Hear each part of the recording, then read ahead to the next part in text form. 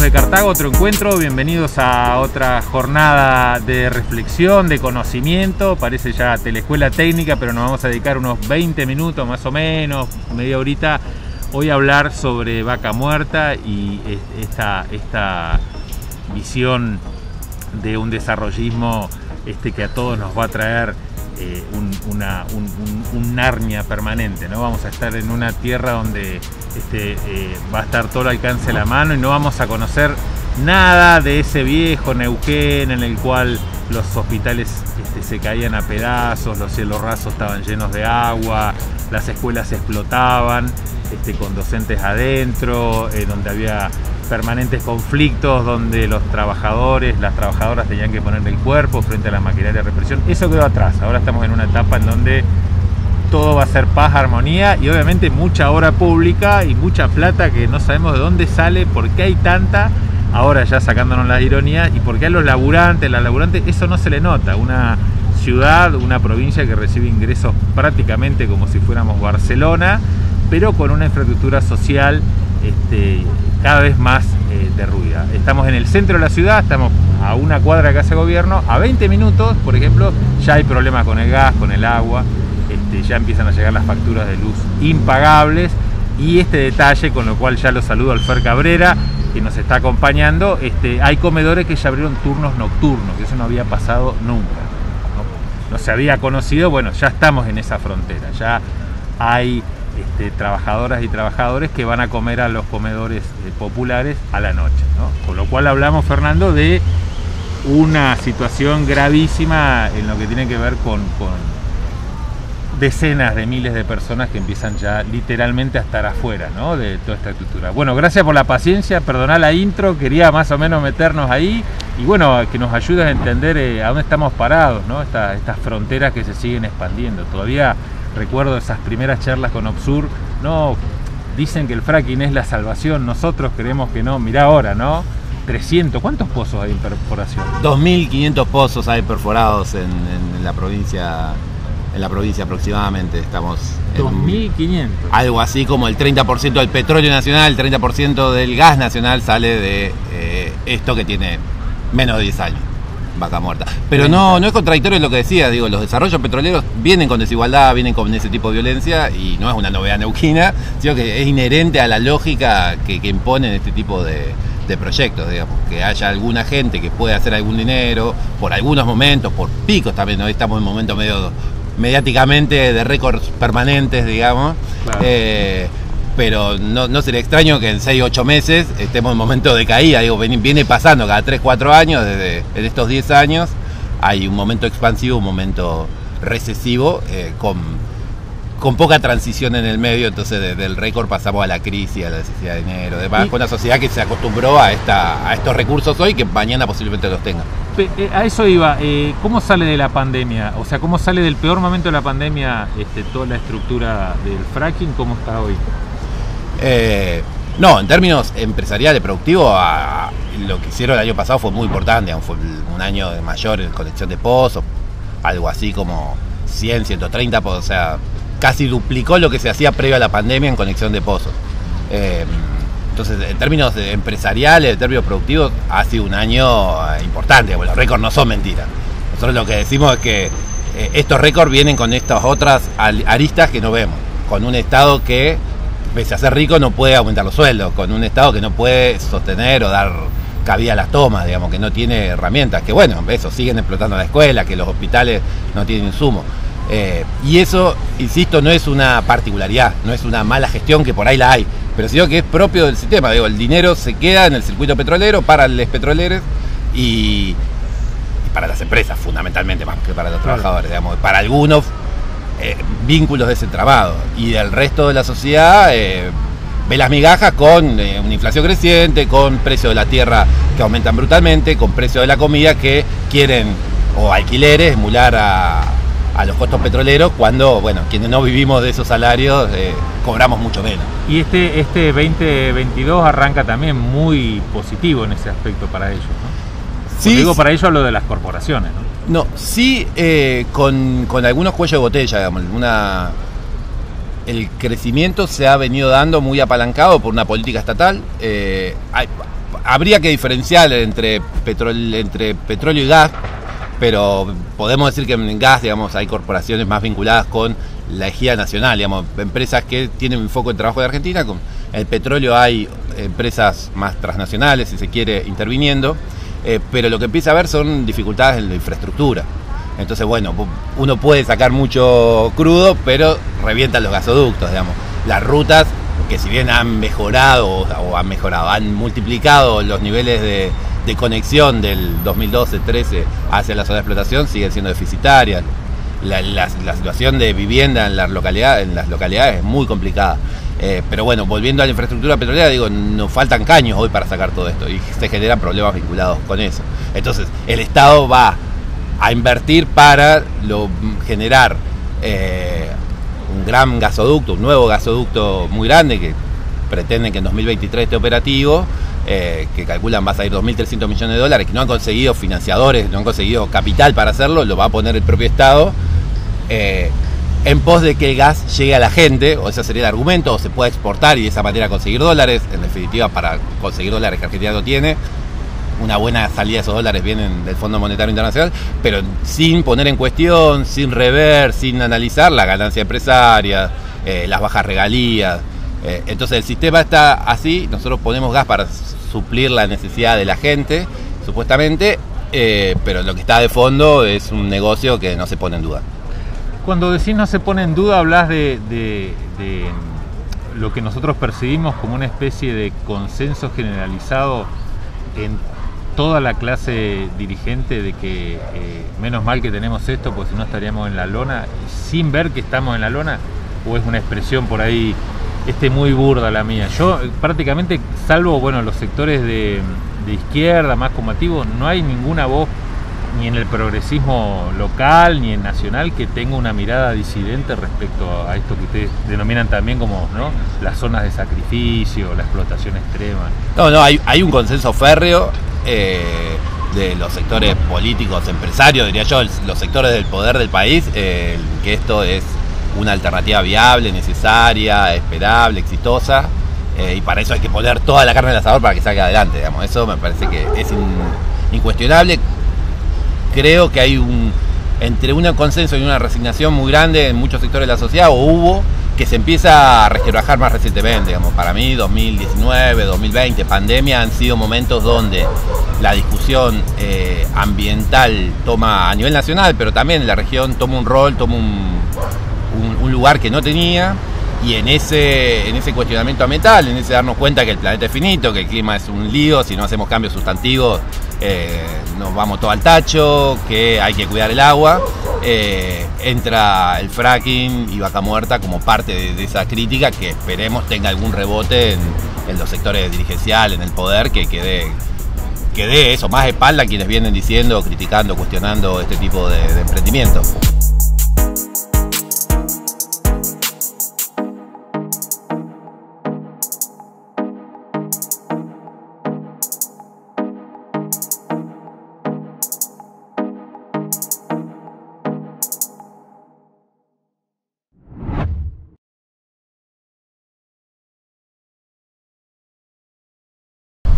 Si tuvieras que, eh, explicarnos, digamos, quiénes están operando en Neuquén eh, y hacer un porcentaje grande, digamos, son todos capitales extranjeros, hay mucha presencia nacional, hay, empresas de ex dirigentes nacionales, ¿no? Para, aprender.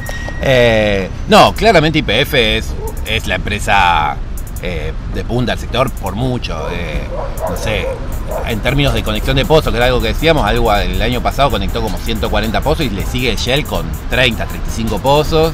Eh, ahí nomás está mm, Vista, la, empresa de Galucho, del éxito de IPF, está Pan American Energy, está Tech Petrol. Es decir, eh, fundamentalmente son empresas hoy las que están invirtiendo más, que tienen su mira puesta en, no son empresas nacionales, nos cuesta hablar de empresas nacionales, digo, una empresa que tiene a BP, a la ex British Petroleum adentro, como Pan American Energy, si una empresa nacional es un poco raro. Eh, se la suele presentar como una empresa nacional. A Pan American Energy. A, Pan American Energy, pero bueno, el 50% de Pan American es de una gran empresa histórica, de, las grandes petroleras mundiales.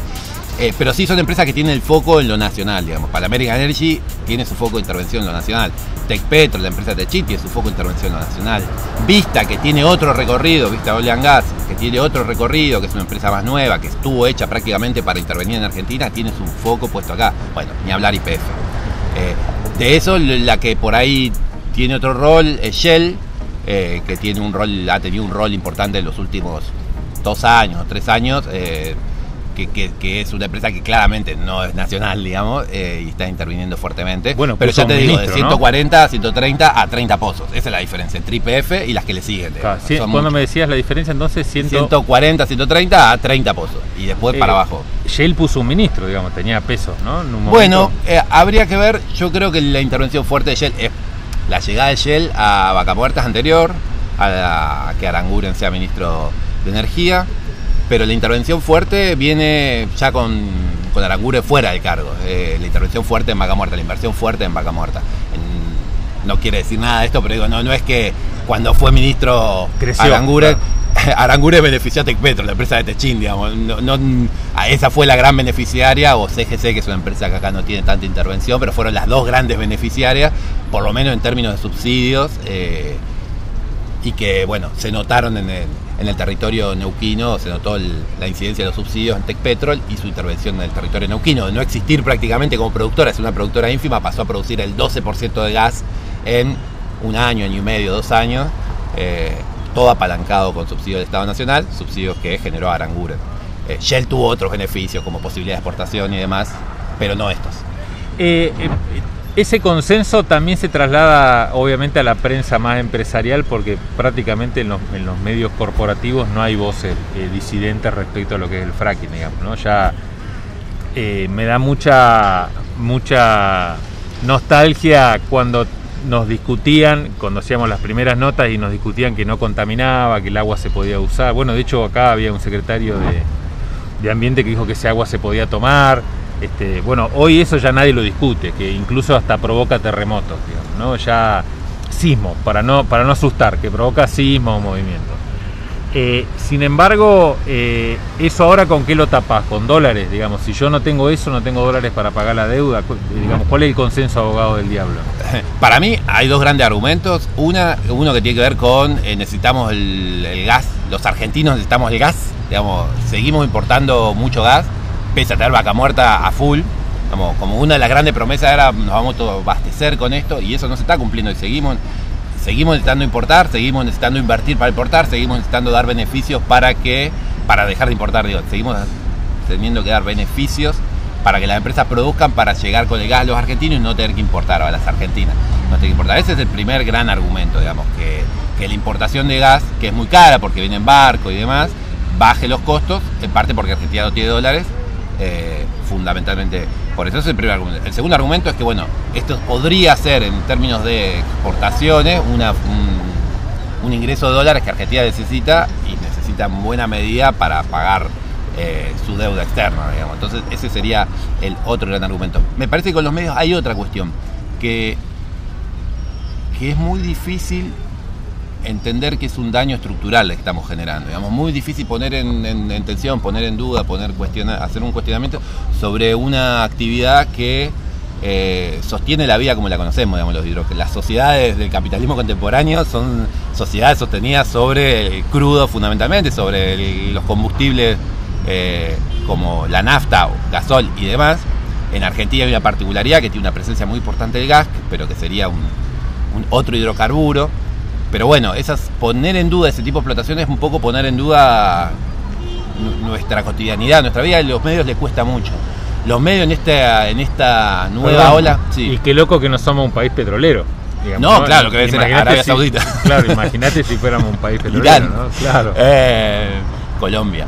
El, no, y lo, lo que decía es, a los medios les cuesta mucho nos cuesta poner, porque en definitiva estamos poniendo en duda el modelo en el que vivimos, la sociedad que tenemos, que bueno, hay que dar la vuelta toda, pero, pero bueno, no, no son ellos los, actores de, esa transformación.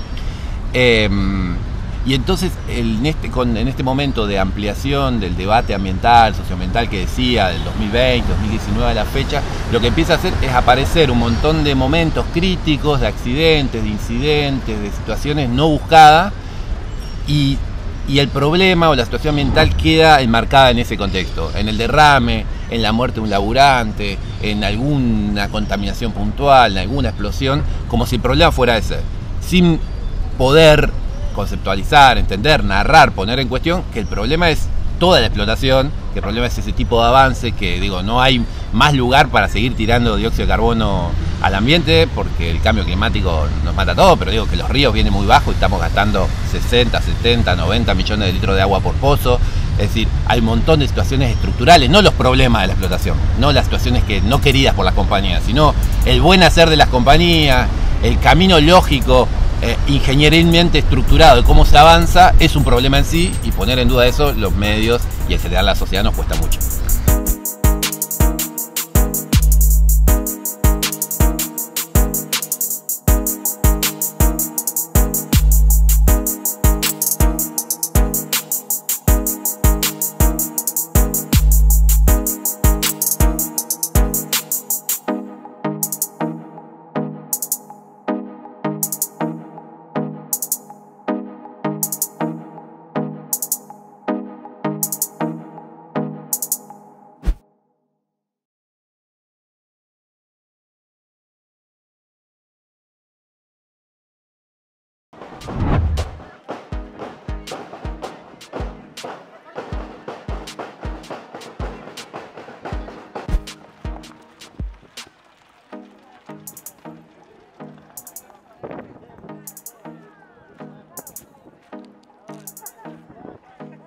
Eh, tengo la, la sensación eh, a veces de que estamos en, en- Es una mirada muy personal, pero como laburás tanto con el tema y, y están en permanente ustedes tensión con, con- con todos esos datos para poder bajarlos a la, a la comprensión de, de- de la gente a pie, eh, tengo la sensación de que estamos adaptándonos a un comportamiento casi mafioso. Digamos, el, el- hablo, más en términos culturales, de subjetividades, ¿no? Eh, pareciera que ya estamos eh, entendiendo que esta es la que nos queda y bueno, de última veremos más adelante qué se hace, pero empezar a observar que ya es, eh, no sé, yo cuando, cuando, un detalle puntual, cuando vi la situación o- o me enteré de la situación previa de lo que pasó cuando voló la cocina de una escuela, que se cobró la vida de tres docentes, a dónde está puesto en el mapa ese lugar, cerca de dónde, qué sucedía, o el hecho de, no sé, de que acá en el- de, eh, a menos de 20 minutos del centro de Neuquén ya no hay gas, redes de gas domiciliario y la gente tiene que, meterse en otro negocio que es la- las garrafas, la leña, digamos, porque sale mucha plata eso para, para calentarse. Eh, tiendo a pensar de que estamos aceptándolo, digamos, de manera muy tamizada, ¿viste? Cuando, cuando zarandeás que va cayendo la, y aprender a vivir en una sociedad este, prácticamente mafiosa, ¿no? En donde el, consenso con esas prácticas ya es eh, prácticamente muy homogéneo, ¿no? No, no hay casi ni fisuras, bueno, salvo esto, ¿no? Que por ahí hay alguien que pega el grito de cómo puede ser que en la provincia más rica del país, no, no, no, todo el tiempo estén tirando a la baja los sueldos de los laburantes o el costo de vida, na- nada, no sé, eh, alquilar en Neuquén está casi 50 mil pesos, un dos ambientes en, el- en la ciudad, ¿no?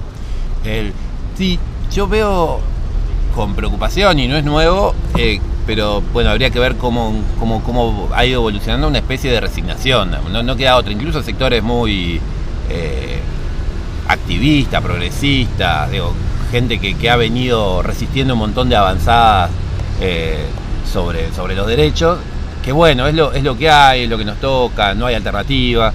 Y me parece que eso es muy nocivo para eso, para, para poder pensar algo que, que- claramente es eh, nos excede, digo, que es civilizatorio, que es del planeta, pero que, que tenemos los cambios van a empezar por los territorios, por los gobiernos locales, digo, que van a empezar por nuestra acti- actitud, ¿no? por nuestra acción, eh, por la acción de, las nuestras organizaciones, digamos. eh, y bueno, esta actitud de resignación, de, de, bueno, con esto se puede, sí, con esto demos la pelea acá, pero con esto no nos metamos, es muy Claro. complicado. Creo, insisto, que eso entre el- en los últimos años se va modificando, se van abriendo eh, Bueno, está lo de Chubut, ¿no? está lo de Chubut, hoy está la posibilidad de debatir el offshore de manera eh, nacional, digamos, algo que no había pasado nunca, una explotación hidrocarburífera la historia que tiene el Obsur, por lo menos, de que, bueno, un proyecto se ponga en cuestión a nivel nacional. Es más cerca de las grandes ciudades de este país, pero digo, habla también de un cuestionamiento un poco más masivo y que da la posibilidad, bueno, de que empiece a aparecer nuevas posibilidades también. Eh, para mm, ir más o menos cerrando, ¿dónde van a encarar las investigaciones este año? Viene están laburando en las estructuras empresariales que me estabas diciendo que tienen estos cuellos de botella, en, los rebotes que va a tener obviamente en, la explotación ambiental, ¿cómo, cómo están encarando? Pues sé que deben tener un montón de laburo para, para ir sistematizando. No, como una, una cosa novedosa de, este año eh, que venimos pensando es un poco trabajar algo que está por salir algunas producciones sobre las arenas. Como hicimos un trabajo allá por 2016 sobre las arenas de sílice, que, que son uno de los insumos fundamentales para la extracción eh, mediante fracking, digamos, uno diría, bueno, las arenas, qué tontería, pero las cantidades que utilizan, 300 camiones para un pozo, habla de unos niveles de intervención y envergadura muy grandes. ¿Eso es en Río Negro? Eh, bueno, hoy están viniendo fundamentalmente entre ríos, están abriendo en Río Negro eh, nuevas canteras, ya hay de la empresa Vista, de IPF, canteras, intentando bajar el costo porque la arena es muy accesible en términos de comprarla, pero es muy cara en términos de transportarla. Eso, perdón, te decía Río Negro porque es lo que se viene, ¿no? Pues estaba lo de Jacobás y que empezaron ya a, estar los primeros movimientos. más en, más en el, al sur del Valle Medio sería donde están las principales. Pero bueno, en eso venimos trabajando. La idea es también empezar a trabajar más fuertemente con algo que trabajamos tangencialmente que tiene que ver con la idea de eh, este gobierno está planteando una transición, el gobierno nacional está planteando que la transición es con vaca muerta porque es con gas entonces el gas es un combustible puente, un discurso muy viejo de, del mundo fracking global, digamos, 2012, 2013 ya en Estados Unidos se hablaba de, o en Europa también, de gas como un puente, una sociedad más sustentable. ¿Por qué? Porque la quema de gas emite menos dióxido de carbono que la quema de crudo y ni hablar que de carbón. Entonces, bueno, el gas es bueno. Entonces, no es tan bueno, pero nos va a ayudar a ir a una, a una sociedad mejor. El año pasado el gobierno nacional asumió ese discurso y bueno, lo cierto es que las investigaciones dan cuenta de que si bien cuando uno quema gas emite menos dióxido de carbono, en todo el proceso de gas se van filtrando una serie de gases muy nocivos también y no son tenidos en cuenta. Incluso algunas investigaciones dicen que el gas es tan nocivo como puede ser el crudo o la quema de, combustibles líquidos. Eh, entonces ese sería otro de los encuadres que tenemos y bueno, seguir con los trabajos de todos los años. Eh, me decías que eh, Neuquén va a seguir teniendo récords, es un poco lo que hablamos, eh, creo que fuera aire lo hablamos, pero era, digamos, como que está cada vez con unos números más sorprendentes. Bueno, los récords muchas veces no son resultados nacionales necesariamente, digamos, ¿no? Una de las cosas que tiene la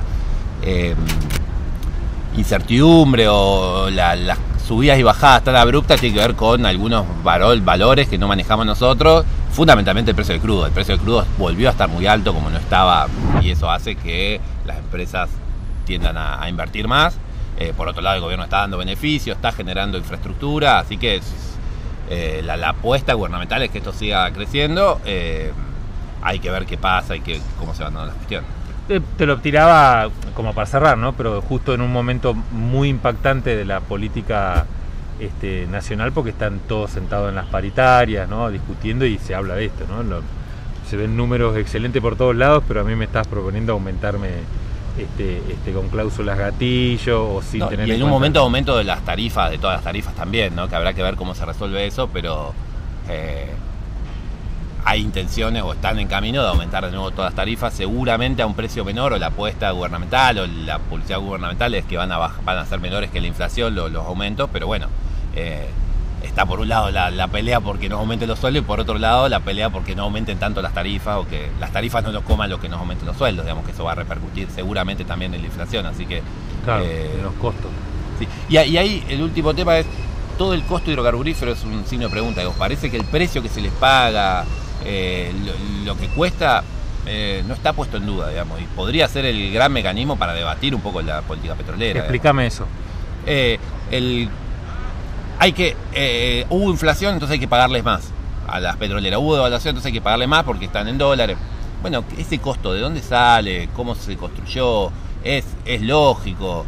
Eh, no es un exceso, digamos, me parece todo ese debate. Hay que pagarle más tipo compensación, decís, porque no, no, no, porque, porque bueno, devaluación de por medio, entonces digo, con precios en dólares, devaluación de por medio, necesitan más peso, por ejemplo, digo, y todo ese costo, todo ese, ese valor inicial de la cadena energética digamos, no está puesto en duda.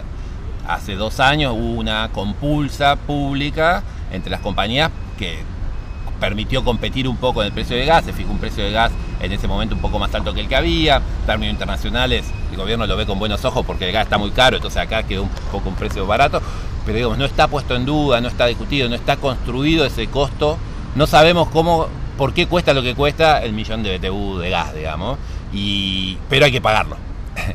Entonces, bueno, eh, podría ser un mecanismo para entrar el tema de cuánto cuesta producir la energía, que con fracking es más cara, claramente. Quizás es la energía que hay, la fuente de energía que hay, pero bueno, vamos a una energía cara posiblemente. Eh, porque sabías que muchas de las empresas tercerizadas en la, en la economía neuquina, por ejemplo, han recibido compensaciones por las pérdidas en, en, en pandemia, ¿no? Pérdidas entre y el servicio sigue siendo deficitario, digamos, le, estás pagando como agradeciéndole este, un servicio que nadie entiende por qué. Entonces por eso te preguntaba como si era en compensación o no. Esto porque tiene que ganar más porque estamos todos, está todo más caro, va a que pagarle más. Sí, sí, eso decía. Eh, eso, el combustible va a empezar a aumentar. Bueno, han ganado mucho, la petrolera han ganado poco, no sabemos, digamos. Todo, todo ese escrutinio de los números no es público, no se conoce hay que hacer un chino con economista para ver si eso es verdad. Distintos investigadores dicen distintos precios, eh, pero bueno, el combustible sube. Y, así con digamos, las distintas, los distintos precios de la economía vinculados con la energía. Fer, te agradecemos un montón. Eh, entonces recordamos siempre eh, para ir chequeando todo lo que tenga que ver con la plataforma de Obsur, ¿no? Obsur.org.ar.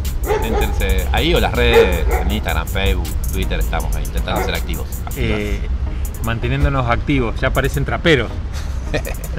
Nosotros nos vamos a despedir eh, hasta, para que acomodo acá, mira, hasta la semana que viene acá por nuestro canal con Más Cartago. Eh, recuerden que todo este material queda dando vueltas en este, nuestro canal este, YouTube, que por suerte ya está llegando a los 10.000 suscriptores, que para nosotros es una barbaridad, digamos, ¿no? Uno lo compara con otro, no, bueno, pero este, somos la Shell, digamos, ¿no? Si tenemos que compararnos con otros, ¿no? 30, 130, ahí estamos. Mirá con qué me comparo. Hasta la semana que viene acá por nuestro canal con Más Cartago.